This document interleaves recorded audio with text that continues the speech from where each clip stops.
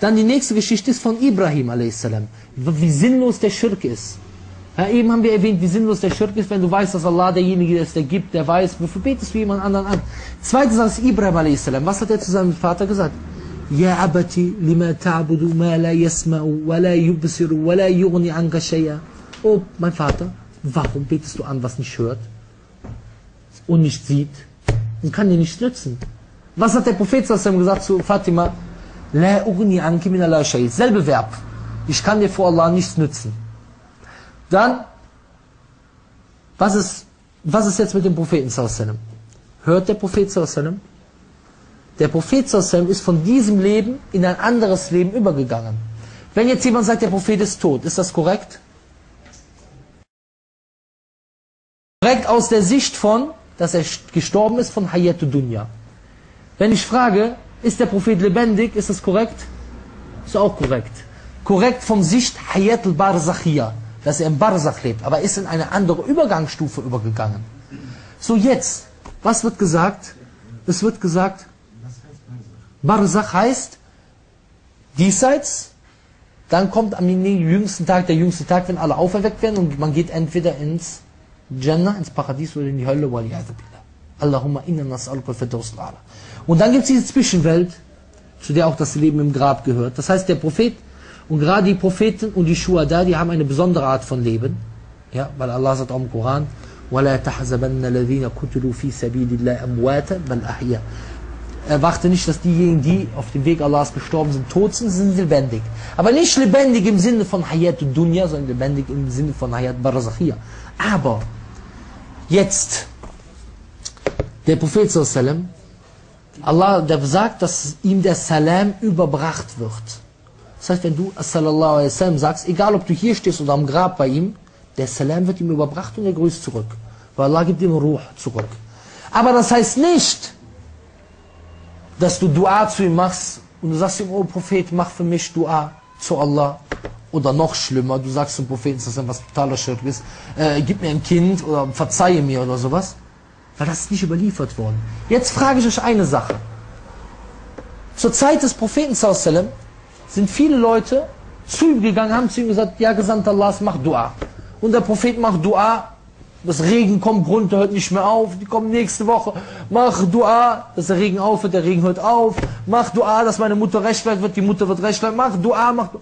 So viele Stellen. Jetzt frage ich dich was, das war zur Zeit des Lebens vom Propheten. Jetzt, Wann hatten die Muslime mehr Probleme gehabt? Meinungsverschiedenheit, größtes Problem. Zur Zeit des Lebens, im Leben vom Propheten sallam oder nach dem Leben vom Propheten sallam? Nach oder vor? Nach, natürlich. Dann kamen die großen Probleme. Wer wird Khalifa? Also, obwohl Khalifa war eigentlich eine eindeutige Sache. Abu Bakr, dann Umar, dann, okay, bei Uthman und Ali gab es dann Meinungsverschiedenheiten, aber die Shura hat sich für Uthman entschieden. Und Ali hatte damit auch gar keine Probleme gehabt, radiallahu anhu. Ja? Aber trotzdem danach fingen Probleme an. Streit um das Sahaba. So, das heißt, die hatten vorher mehr Probleme noch gehabt. Die hatten keinen, den sie ansprechen konnten. So, jetzt frage ich, warum?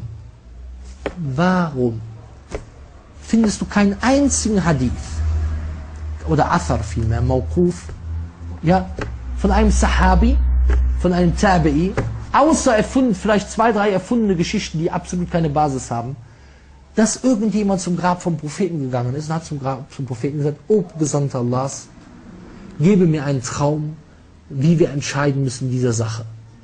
Wer der Amir al-Mu'minin werden soll nach Oman al-Khattab. Wie wir das. O Gesandter Allahs, zeige mir dies oder das. Warum nicht? Kannst du mir mal erklären, weil das verkehrt ist? Das ist das Verständnis der Sahaba. Wer hat das bessere Verständnis? Wir oder diese Leute? Tausende, diese Leute. Bruder, Sulh Hudaybiyah waren 1400 oder 1500 Sahaba gewesen. Mit dir Allah sagt, er ist mit ihnen zufrieden. Von Tausenden, 1400, 1500, ich weiß die Zeit nicht ganz genau.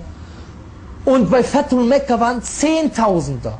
Und bei Hajjat al-Wada waren Hunderttausender. Du hast keinen einzigen Bericht, der sahih ist, außer Maudu erfunden. Da gibt es auch nur zwei, drei dass jemand da zum Grab gegangen ist. Wie geht das? Ach, das zeigt ganz eindeutig, dass diese Sache falsch ist. Sondern wenn du Probleme hast, was sagt der Prophet? Fas'alillah, bitte Allah. Und wenn du Hilfe brauchst, fasta'in billah. wie er zu Ibn Abbas gesagt hat. Das ist die korrekte Methode. Ibrahim a.s. hat auch, wie gesagt, diese Punkte gebracht, die Namen, Eigenschaften von Allah genannt. Dann der nächste Punkt ist, die Sinnlosigkeit des Schirk ist, wozu es führt. Wir haben gesehen, die Völker im Koran, wie viele Völker sind zerstört worden aufgrund des Schirks. Und Allah sagt zum Beispiel in Surat al-Hud, was haben euch eure Götter heute geholfen, sinngemäß? Nichts. Ja. Dann auch von der Fitra. Das ist gegen deine Fitra eigentlich. Allah sagt. Also das ist, was, was ist, warum bediene ich nicht dem, der mich Fatra, das kommt von Fitra mich in dieser Fitra erschaffen hat. Dann auch vom, vom, und dann vom Verstand her, vom Logischen her. Wenn du jemanden kennst, beispielsweise, der dir alles geben kann, und er sagt zu dir, komme zu mir, bitte mich, wenn du was brauchst, komme zu mir. Und er sagt, das ist Gottesdienst. Und er sagt, er liebt das, wenn du ihn bittest.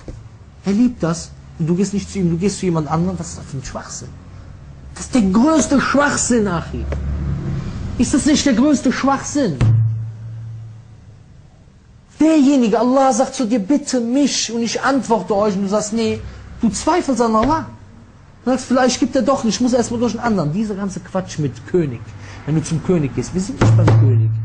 Wir sind beim Herrscher der Himmel und der Erde, nicht bei irgendwie König von England oder so. Wo du erstmal zu irgendjemandem gehen musst. Wir sind beim König, bei Allah, der zu dir sagt, bittet mich und ich werde euch geben. Subhanallah. Qala rabbukum ud'uni astajib lakum. Euer Herr hat gesagt, macht Dua zu mir und ich werde euch antworten. Subhanallah, guck mal, was der Prophet sagt. Er sagt, das ist in, also in Surah Al-Jinn wird das beschrieben. وأنه لما قام عبد الله يدعوه كادوا يكونون عليه لبدا Kul innama, sprich, ich diene nur, innama ad'u rabbi wa la ushriku bihi ahada. Ich mache nur Dua zu Allah und ich gebe ihm keinen Beigesellen. So jetzt die größten, die wichtigsten Gründe für Schirk. Das ist auch sehr wichtig, dass wir wissen, wie kommen die Menschen in Schirk. Der erste Grund ist Rulu, Übertreibung. Und Übertreibung gibt es zum Beispiel in Lob und Übertreibung in der Liebe. Zum Beispiel Übertreibung im Lob. Du findest Leute heute Anaschid-Lieder, die sind der größte Schirk. Oh, Gesandter Allahs, du bist der, die Sünden vergibt. In welcher Kategorie ist das Schirk? In welcher Kategorie? Der Prophet gibt, vergibt die Sünden. Die sind Dua zu machen zum Propheten. Oh Allah, oh Prophet, vergib uns die Sünden. Oh Gesandter Allahs, schenk mir dies, schenk mir das. Das siehst du zum Beispiel auch bei, bei Christen sehr viel. Bei Christen, bei den Katholiken beispielsweise, jeder, der irgendwie heilig war, wird sofort zu dem gebetet. Hier hast du jetzt gehört, die Nonne. Papst Johannes Paul ist gestorben. Sie hat zu ihm gebetet und sie, ist, äh, sie hat äh, ein Bittgebet zu ihm gerichtet und sie ist gesund geworden. MashaAllah. Jetzt eine wichtige Frage. Das ist etwas, was viele Leute für die Richtigkeit des Götzendienstes in Betracht ziehen. Die sagen, wir haben gebetet und das Gebet ist erhört worden. Was? Wie antworten wir darauf? Wir sagen, zum Beispiel, jemand ist krank.